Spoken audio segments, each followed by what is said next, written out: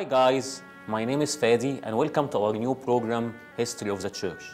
Today we are going to travel back to the first century of Christianity. But before we start our journey, we need to answer an important question.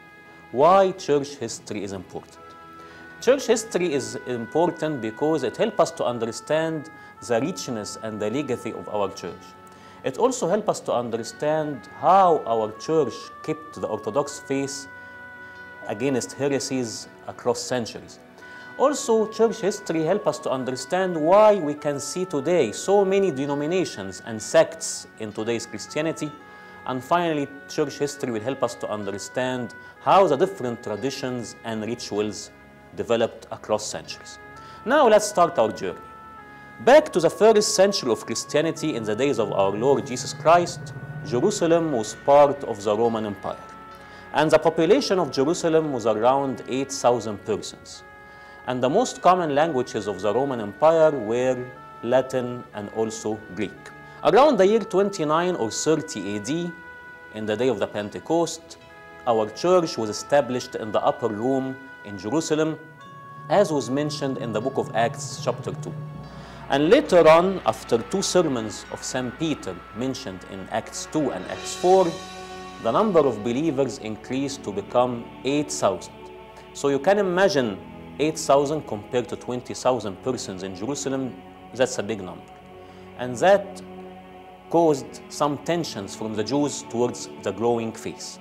This tension started to increase later on after three and four years and led to the martyrdom of Saint Stephen, the first deacon.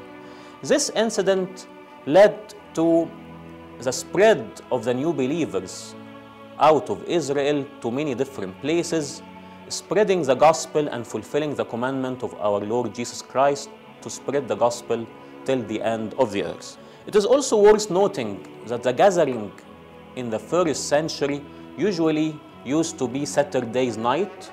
Believers used to gather for communion and for uh, prayers, but until the Emperor Trajan has ordered to cancel all the meetings at night, so Christians moved their meetings to Sunday morning, which continued to be the tradition until today. Now let's see where did the apostles evangelize in the first century. When we take a look at that, we will realize that the apostles almost evangelized to all the known world of that time.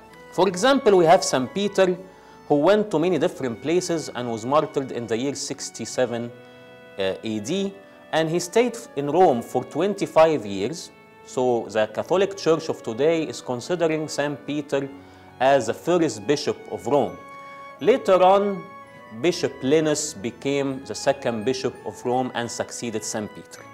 We have also St. Andrew, who was martyred in 60 AD, St. Matthew, 70 AD, St. Bartholomew, who went to Yemen and Armenia, St. Thomas, who went to India and China, St. Jude, who went to Iraq and Persia, St. Simon Zealot, who went also to Syria and Persia, St. John, St. Paul, and finally St. Mark, as we consider the father of our Coptic Orthodox Church, who arrived in Egypt in the year 49 AD, and he was considered as the first bishop of our church and then was succeeded by Bishop Ignatius.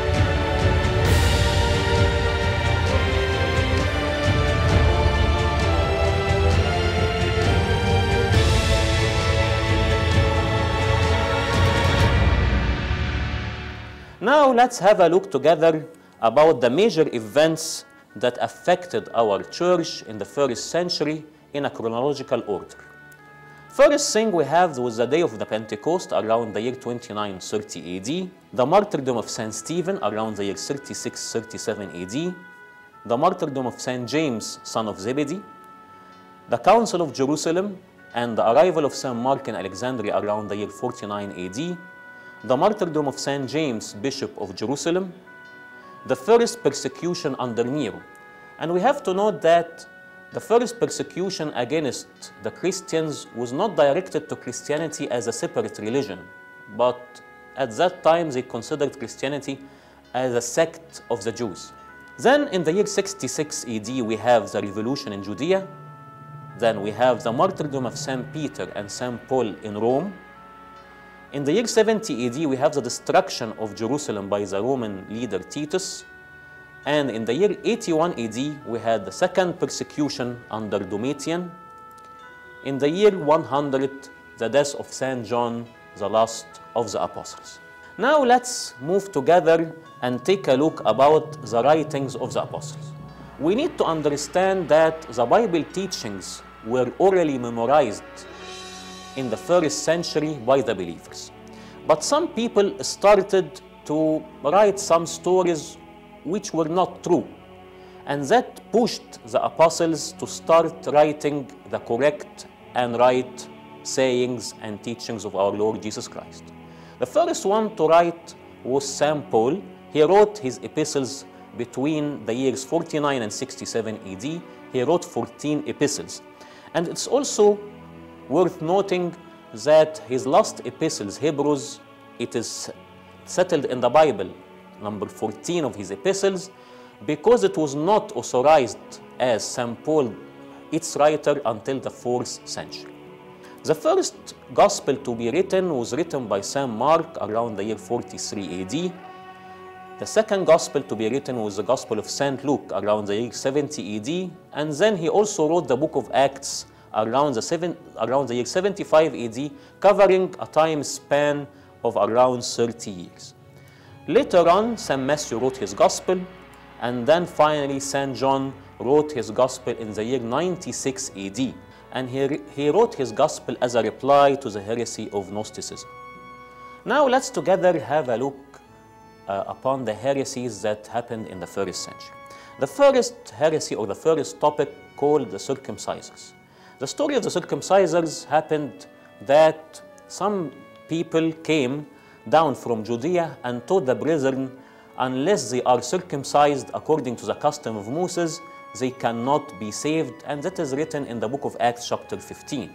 In simple words, this means for a Gentile to join, to join Christianity, he has to be a Jew first, and this will be done through circumcision. So the apostles gathered in Jerusalem in the year 49 AD in what is known as the Council of Jerusalem, and by the inspiration of the Holy Spirit, they decided that it is not necessary for the Gentiles to be circumcised in order to be Christians, but only they can be baptized and also to stop following any pagan practices. Later on in this century, also we faced another heresy which is called Gnosticism. Gnosticism also continued to several centuries later on.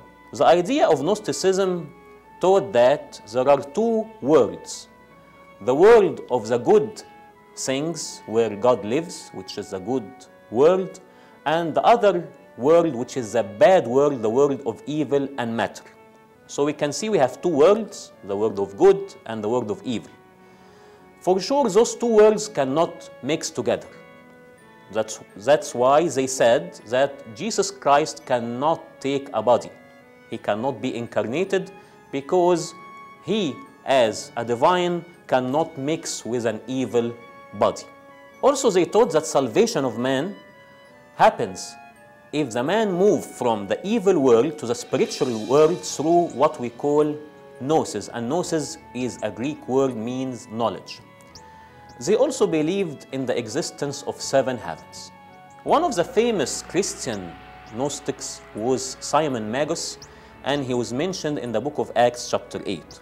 After his death, uh, Simon Magus was succeeded by his disciple Menander the Samaritan. And as I said before, this heresy of Gnosticism continued for several centuries ahead, as we will dis discuss together in the next episodes. Now you can find on the screen uh, more references if you want to dig deeper for the topics that we discussed today. Thank you for watching and see you in the next episode. Pray for us. Bye.